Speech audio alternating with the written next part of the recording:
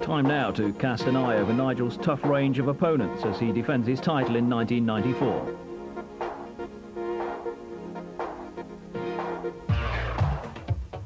This is Emerson Fittipaldi.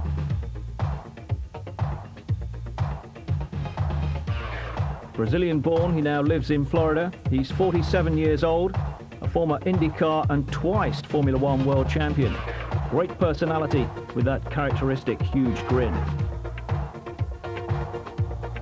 In 1992, he won Surfers Paradise for Penske, and he was still in great form in 1993 when he took the Indy 500. He was first two at Mid-Ohio on his way to runner-up in the championship behind Nigel Mansell.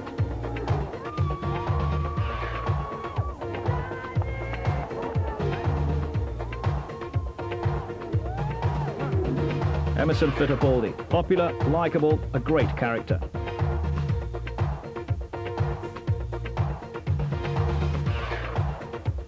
In a three-car team, Emerson's first Penske teammate this year is Paul Tracy. He's only 25 years old from Toronto in Canada. He won five races in 1993, including Long Beach,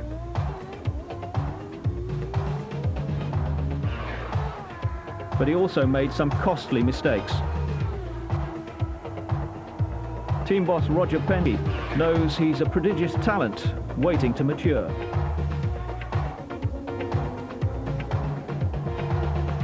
Tracy's best moment of the year? Winning on his home ground at Toronto last July. Paul Tracy, undoubtedly the best of the young brigade. Another bespectacled driver, Bobby Rahal from Dublin, Ohio.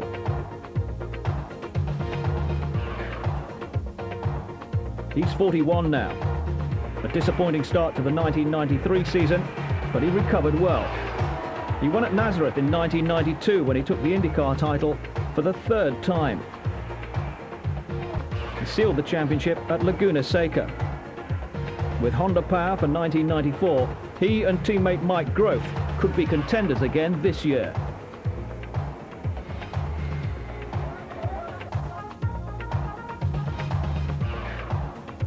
Another Brazilian, Raul Boesel. He's yet to win an IndyCar race, but he's shown consistent ability. Last year at Milwaukee, he won pole position and led for most laps. But in the end, he finished second to Nigel Mansell.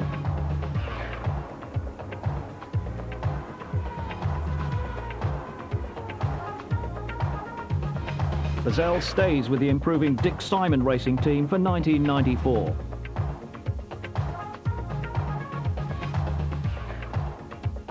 The great Mario Andretti, former champion at both Formula One and IndyCar, Nigel's teammate at Newman Haas. He won his 52nd IndyCar victory at Phoenix last year.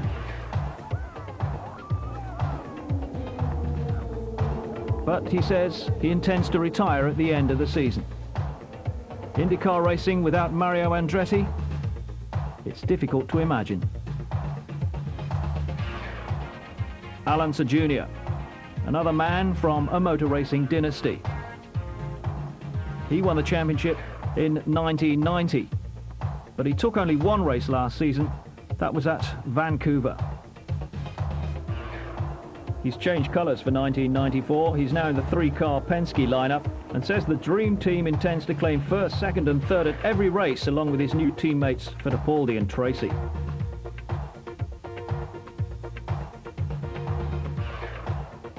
Scott Goodyear, 34 years old, but still labelled promising. He didn't win at all last year, but he was first at Michigan in 1992.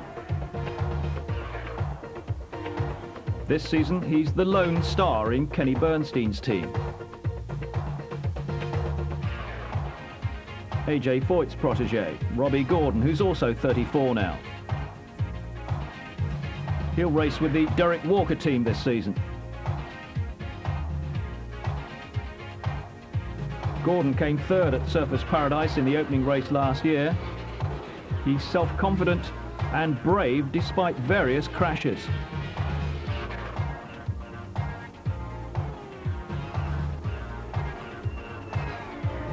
Last season, he went into the wall at Phoenix. And he did the same in practice this close season. He's undoubtedly talented. It's temperament that's under scrutiny now.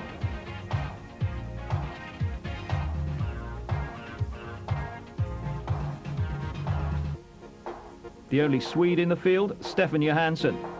Formula One experience with McLaren and Ferrari. No wins yet, but he did come third at Vancouver in 1993.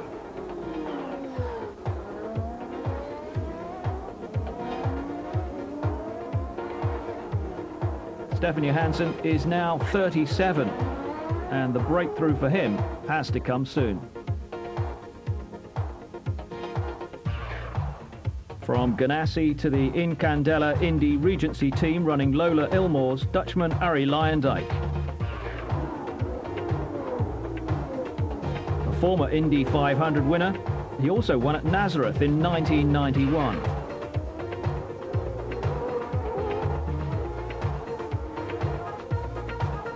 He's probably the best racing driver ever produced by Holland.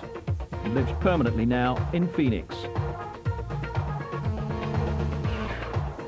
Another European, Teo Fabi, born in Italy. He raced in Formula One with Brabham before he decided to make his career in the States.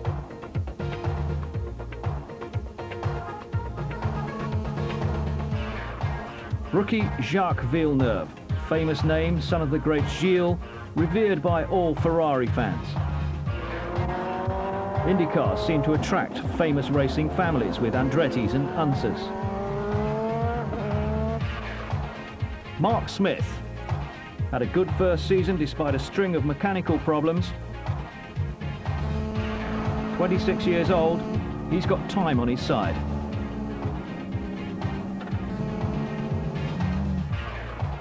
Dominic Dobson's a fine all-rounder in American racing, but he made only three IndyCar appearances last year. Willy T. Ribbs picked up nine points for the Cosby team last season. And returning to the fold, Michael Andretti, back from Formula One with McLaren, and now running with Chip Ganassi. He won at Laguna Seca in 1991 and took the championship outright. And so followed in the footsteps of his illustrious father Mario.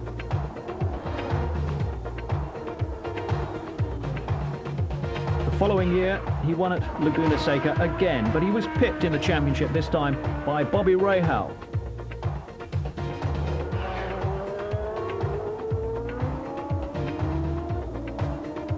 The whole Andretti family goes racing. And Michael still takes advice from his vastly experienced dad.